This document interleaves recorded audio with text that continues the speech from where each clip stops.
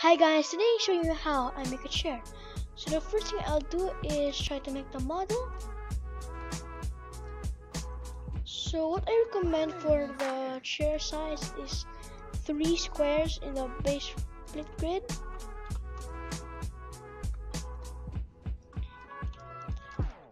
And I also recommend going to models, I mean view and press press show grid and 16 studs. But I'll just press grid material. So I will control D and then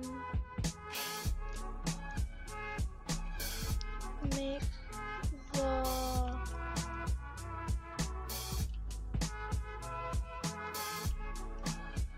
the legs and then here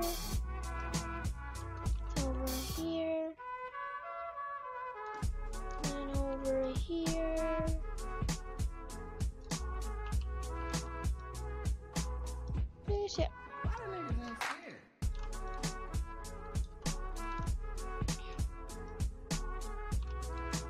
I'll just fix this a little.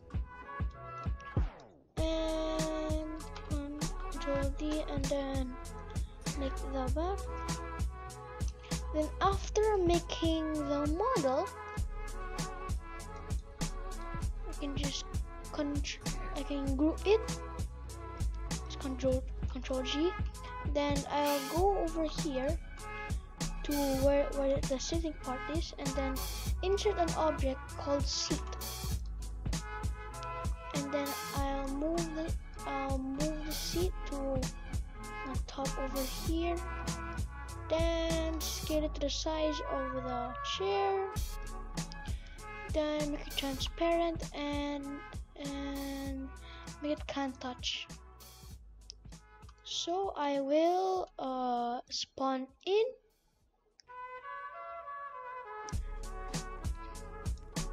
and when I touch it it immediately make uh, makes it stop I also recommend uh, anchoring it and that's how I make a chair in Roblox.